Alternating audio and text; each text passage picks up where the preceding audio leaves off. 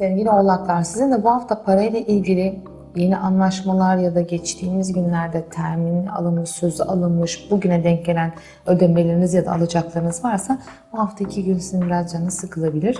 Ee, alacak, verecekle alakalı sözler tutulacak mı, tutulmayacak mı diye endişelenebilirsiniz ama merak etmeyin. Kazançlı çıkacaksınız. Alacaklar, verecekler yerine ulaşacak. Hiç bu konuda endişe etmeyin. Ama bir iki gün böyle bu konuda endişelere kapılabilirsiniz. Sonu güzel. Ben şimdiden söylemiş olayım sevgili oğlaklar.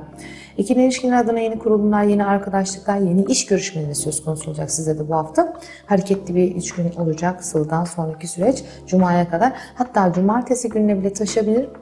Görüşmenize dostane bir şekilde devam ettirmek için hafta sonu kullanabilirsiniz. Yani hem kolay tanımak hem e, sıcak bir ortamda tanımak isteyebilirsiniz iş yapacağınız insanları. E, bunlar e, bakkalını devretmek isteyen bir bakkal bile olabilir. Büyük anlaşmalar yapmak isteyen market sahipleri de olabilir. Yani herkesin çapına göre yeni anlatıyorum.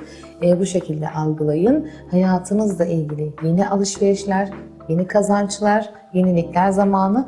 Mutlaka siz insanları çok irdelersiniz, temkinli insanlarsınız ama gözden hiçbir şey kaçırmamak adına mutlaka bu hafta iki kere üstünden geçin her şeyin sevgili olanaklar.